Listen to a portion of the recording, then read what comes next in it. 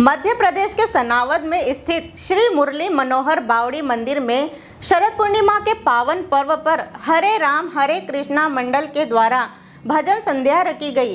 भजन संध्या रात्रि 9 बजे लेकर 12 बजे तक चली। भजन संध्या के बाद भगवान की आरती की गई। उसके बाद प्रसादी वितरण की। मंदिर के पुजारी उमाशंकर कानूनगो ने इस पर्व की विशेषताएँ बताई और कहा कि यह पर्व लगातार 22 वर्षों से इसी तरह मनाया जा रहा है, जिसमें भजन गायक सुनील गंगराड़े, शुभम पगारे, शीतल देसाई, जगदीश नामदेव के द्वारा भजन प्रस्तुत किए गए। भजन गायक शुभम पगारे द्वारा देशभक्ति व भगवान कृष्ण के भजनों की प्रस्तुति दी गई, जिसमें भक्तजनों ने झूमते नाचते हुए भजनों का आनंद लिया। सनावत से प्रभु दोगाया की रिपोर्ट।